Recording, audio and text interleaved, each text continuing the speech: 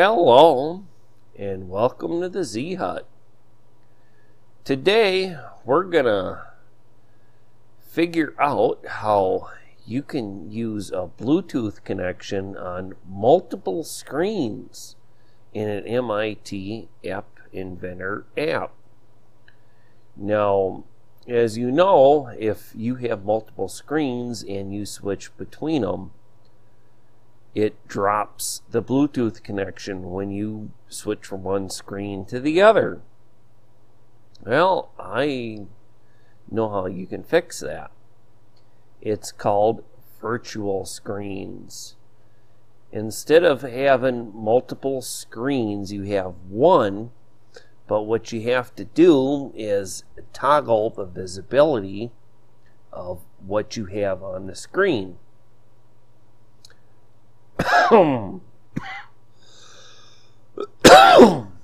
Sorry about that. Um, I have a little cough. Um, I'm going to bring up my uh, emulator here and I'm going to click. I've already knocked um, this MIT app up really quick and just show you.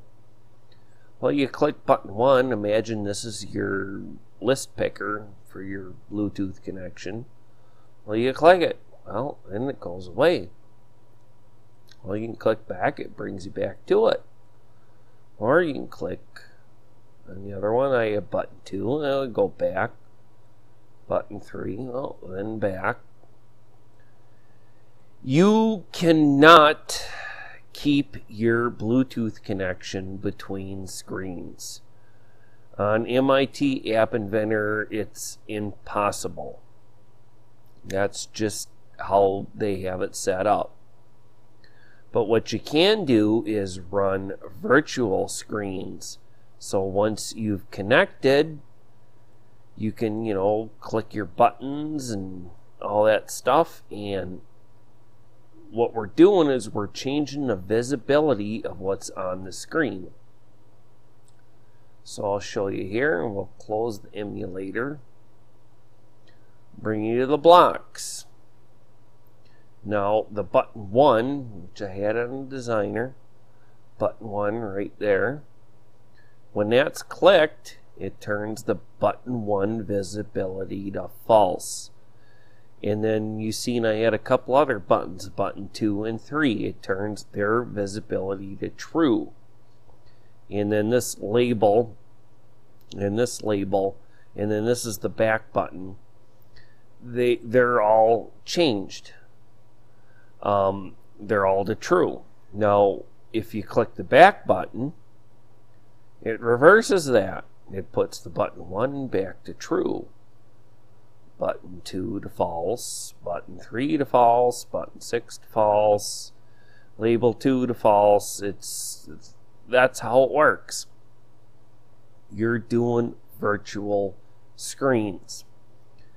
And it's easy. Um, you just work your way down when you're in the designer.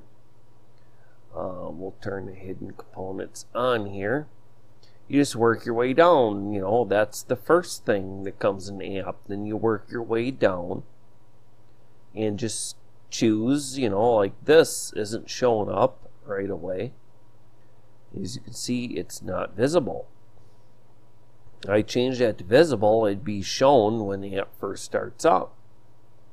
But when we go back to the blocks, you can see it's not. That's how easy this is to do. And I've seen a lot of stuff on the internet. People wondering, oh, I want to have multiple screens with Bluetooth connectivity and especially with like Arduino projects.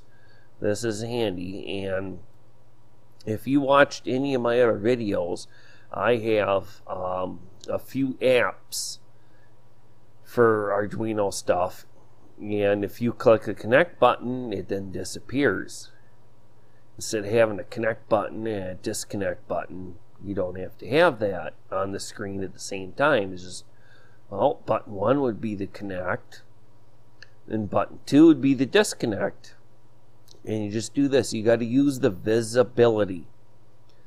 And that's all there is to it. Um, there is one other way I have come across on how to have Bluetooth between multiple screens, and this one actually will work between multiple screens. But the thing is, is when you connect, it saves the address. Then when you change pages to another screen, it disconnects and reconnects. Now that can bring problems and issues. So I would recommend this way of doing it. It's way easier, way simpler. You just use the visibility um, for what you have in your home page. It's all visible. And then when you click on a button or something, you just put them all false, and then everything you want page two to be, you put true. It's easy. It's really easy. And that's all you have to do. Well, I know this is a real quick tutorial, but I seen some stuff on the internet, people wondering about how to do this, so thought I'd shoot a quick quick video on how to do it. Hope you found this information useful.